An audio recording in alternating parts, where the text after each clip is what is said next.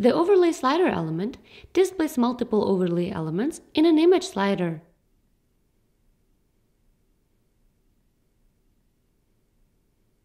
Just like an overlay, each slider item has an image field or an alternative video field,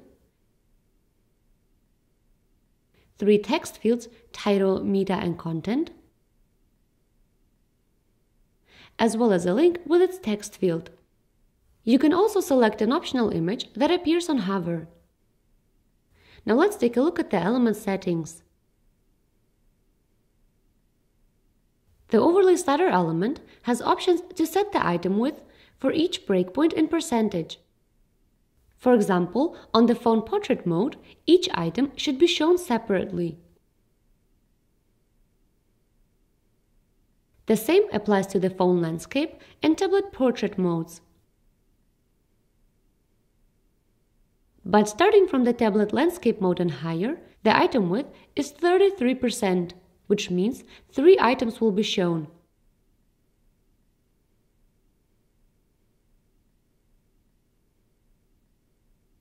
Additionally, you can choose whether the slider height adapts to its content or to the viewport height.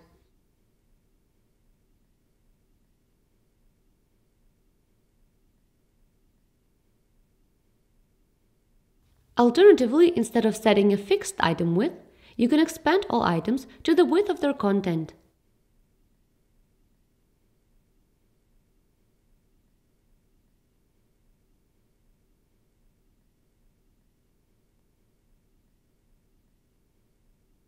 You can also set the size of the column gap between slider items and optionally show a divider between them.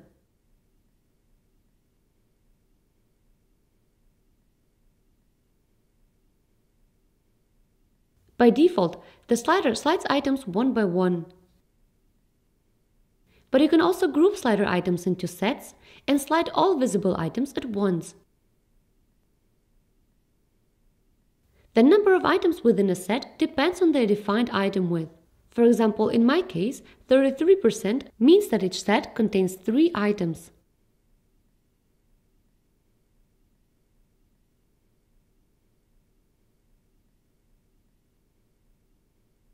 Additionally, you can center the active slide, disable infinite scrolling, or enable autoplay.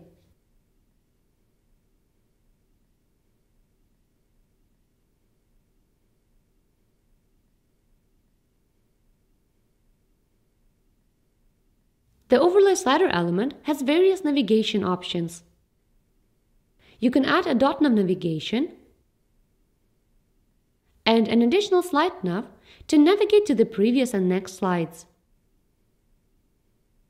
Also, define the position and margin for each navigation.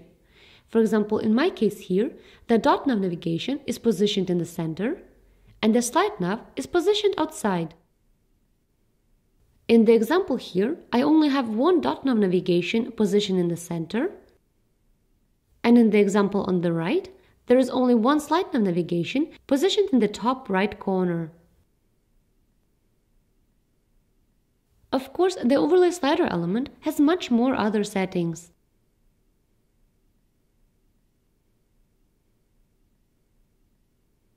But since the element displays multiple overlays, their settings are explained in the overlay element documentation.